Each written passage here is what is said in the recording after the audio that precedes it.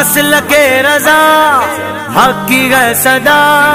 हशर तलक जारी रहे फैज रजा।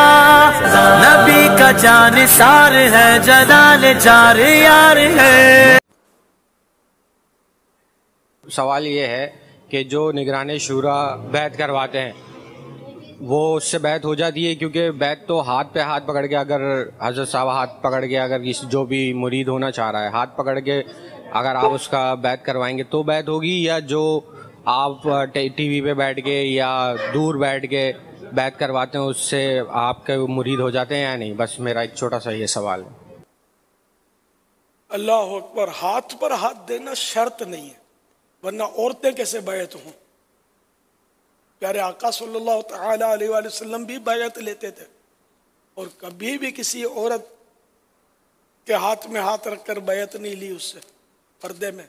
औरत तो ये कि इसी तरह मर्दों के लिए भी ये शर्त है। बैत जो होती है ना, ये एक अहदो पैमा होता है कि गुनाहों से तोबा करवाते हम और उसको आइंदा फ़राइज पर अमल वगैरह की वो अहद लेते हैं। जो अल्फाज हमारे जो होते हैं तो इसमें हाथ पर हाथ रखना ये शर्त कहाँ से आ गया? हाथ में हाथ रखेंगे तो ही बैत होगी? तो ऐसा कुछ भी नहीं है। हाथ पर हाथ रखकर बैत करना बेहतर ज़रूर है, बेहतर है।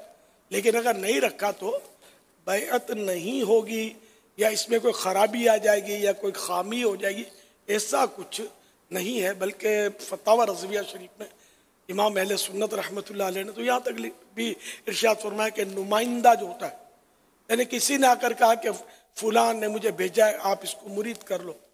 तो तब भी अगर पीर साहब उसको कबूल कर लेते हैं तो ये भी सूरत है मुरीद होने की। और ख़त के ज़रिए भी अलाजत ने ये फतवा दिया कि मुरीद हो सकता है। अब ये नए मतलब ये कि टेक्नोलॉजी है कि टीवी के ज़रिए या मतलब तो इससे भी बैत दुरुस्त है, टेलीफोन के ज़रिए भी बैत हो सकती है। इन्हें ये नहीं होती जो कहता दलील उसके ज़िम्मे कि क्यों नहीं होती। अगर कोई गैर मुस्लिम है और वो मतलब यानी कि आपको फ़ोन करता है और बैठा है दूसरे मुल्क में कि मुझे मुसलमान कर लो, मैं मुसलमान होना चाहता हूँ, क्या ख्याल है आपका? सारे काम छोड़कर, सांस रोक कर आपको उसको मुसलमान करना पड़ेगा। सांस रोक कर ये मुबालगा कर रहा हूँ। यानी अब कोई रुकावट नहीं होनी चाहिए। आप उसको फ़ौरन कहें कि आपका जो मज़हब है कुफ्र का, मसलन वो, यानी कि समझो दहरिया है। तो किसी को मानता ही नहीं है, खुदा को मानता ही नहीं है। और दहरिया है तो उसको कहा कि अपने इस दहरिया मज़हब से तोबा करता हूँ तोबा करेगा। अब इसको पढ़ाएँ कलेमा। अब अगर ये माना नहीं जानता तो उसकी लैंग्वेज में इसको माना समझा दिए जाए, कलमे के। इसको ये दोहरा ले तो ये मुसलमान हो गया। आप बोलो नहीं भाई तो बैत जब मुरीद होना है तो छोटा काम है। ये हाथ पे हाथ रखना ज़रूरी है। एक काफिर का मुसलमान होना तो यकीनन बहुत बड़ा काम है। तो इसमें दो दो हाथ होने चाहिए, हाथ पर हाथ रखे। तो ऐसा कुछ नहीं है। तो वो टेलीफोन के ज़रिए भी अगर आप उसको मुसलमान करेंगे तो वो हो जाएगा। बल्कि अगर यानी कि, यानी कोई इसमें है ही नहीं मसला। हाथ में हाथ रखने का, ये बात लोगों को गलत फहमी है। बस बस है। या बस ये बात लोग ऐसे होते हैं कि जिनको मज़ा आता है, वो अफवाहें उड़ाते हैं। ये मैं बहुत पुराने सुनता रहता हूँ, हाथ में हाथ रखने का यह ज़रूरी है।